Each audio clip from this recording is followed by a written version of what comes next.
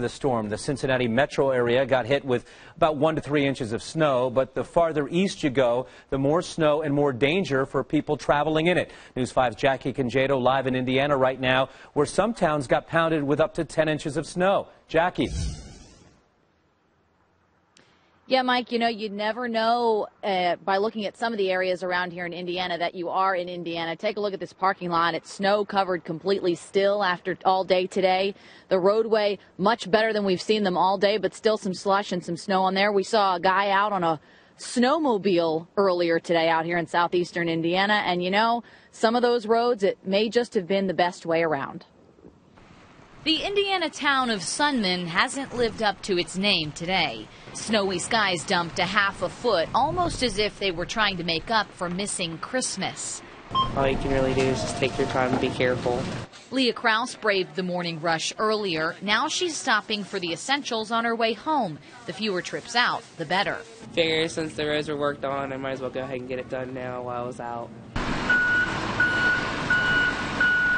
And then there are those who will spend all night on these slush turned ice covered roads, like US 52 headed to Brookville. Going on day two of 12 hour shifts.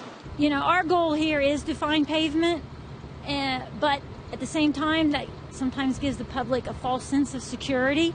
And right now, the refreezes. That's black ice. Eight plows on eight routes here at Penntown Unit. Each takes two hours start to finish, then repeat. Because even though the snow's nearly stopped, the wind keeps on howling.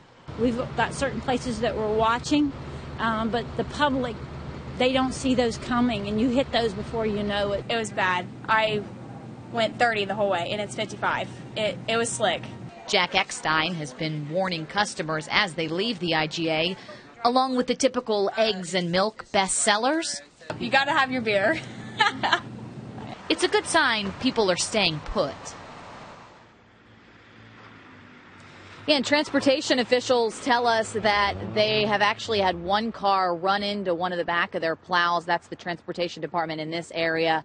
So they're asking you, please stay off these roads if you can, at least until they can get them clear. We are told that they will be on their 12 hour shifts continuing in through tomorrow. So 12 on, 12 off, in through tomorrow, and until all of these roads are clear and passable. We're live in Sunman tonight. Jackie Congedo, News 5.